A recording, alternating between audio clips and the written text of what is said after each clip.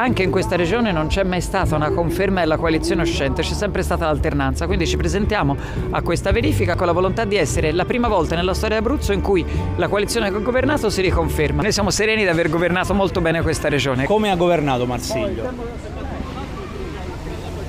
No comment. Molti dicono che da Roma è venuto a fare, che potevamo scegliere un nostro presidente, uno, uno de, dell'Abruzzo, del cose, ma lui dice che è di, di, di vicino Pescara. Che ne so. Come ha governato Marsiglio in questi cinque anni? Ma secondo me bene. Finora di tutti quelli che ho conosciuto, finora è uno dei cinque miei migliori. No, la politica non mi interessa proprio. Grazie. Non andrà a votare? No, assolutamente. Stiamo chiedendo come ha governato secondo lei Marsiglio in questi cinque anni. Piacerà. Non mi interessa più di politica da un bel po'. No comment. No comment. Andate a votare. Certo che Certo votiamo. che andiamo. Su Marsiglio no, non esprimete giudizi. No. Perché? Le- il- non sono molto favorevoli. Questo annuncio della settimana scorsa adesso si fa a Roma Pescara. Sarà vero? E il Presidente del Consiglio dice di sì. I, i certo. soldi sono stati trovati una settimana dal voto. Ci siamo, dim- ci siamo dimenticati che comunque ne abbiamo persi. Una parte di si vede. Anche se il Citroles ha fatto una brutta figura in Sardegna, credo che l'Abruzzo sarà una bandierina del Citroles. Come ha governato secondo voi Marsiglio in questi cinque anni? Benissimo, Benissimo. per noi è stato il top. In Abruzzo si vince? Ce la fate? Temete un effetto Sardegna?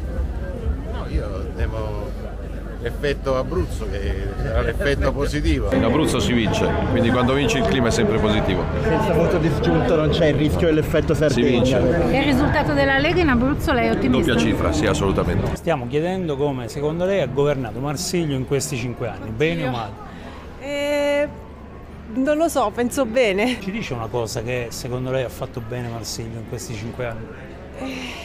Oddio, eh, questa è una bella domanda. A livello di regione, magari da un punto di vista del turismo, da un punto di vista dell'accoglienza, secondo me ci sono, sono stati fatti passi da giganti. Ha provato a comprare un biglietto per il treno della tua?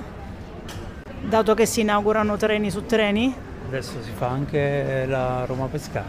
Sì, sì. Non, non- non la trovo una cosa indispensabile, sinceramente. C'è un autobus ogni mezz'ora la mattina e dopo un'ora, quindi non serve. Magari abbiamo altre priorità. Ad esempio? Ad esempio, vabbè, io lavoro su Pescara, quindi la città è riversa in condizioni abbastanza disastrose. E il turista è molto spaesato, c'è la Costa dei Trabocchi che purtroppo l'hanno molto sponsorizzata, ma non è, non è allineata con quello che dicono perché poi non ci sono cartelli, non ci sono gli ascensori nelle stazioni per portare le bici e tanti altri servizi, quindi c'è un po' Un giudizio discorso- negativo il suo. Fate voi. Meloni a Pescara. Se la sta facendo sotto. Sulle elezioni dice. Sì. Temono che non eh, riescano a Ma confermare. voglio Marsiglio. dire, ha fatto- ha- aveva tolto tutti i soldi all'Abruzzo, ha distrutto la sanità, adesso a tre giorni sta facendo delle promesse che sa di non poter mantenere o che comunque sono tardive. Le promesse le doveva aver fatto Marsilio quando ha cominciato. Un presidente uscente dovrebbe dire quello che ha fatto, non quello che promette di fare. Come Ok, ha governato in questi cinque anni? Lo dicono i Marsiglio? numeri, malissimo.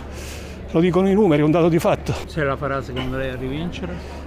Eh, se, se gli abruzzesi scelgono di votare una persona che dell'Abruzzo dice che è bagnato da tre mari è, è una scelta loro che gli devo fare, ma insomma, voglio dire, qua non si tratta, si tratta di un fatto, non è una scelta di tipo ideologico o politico. Le- queste sono elezioni amministrative, si tratta di scegliere chi ha governato bene o chi ha governato male per la miseria.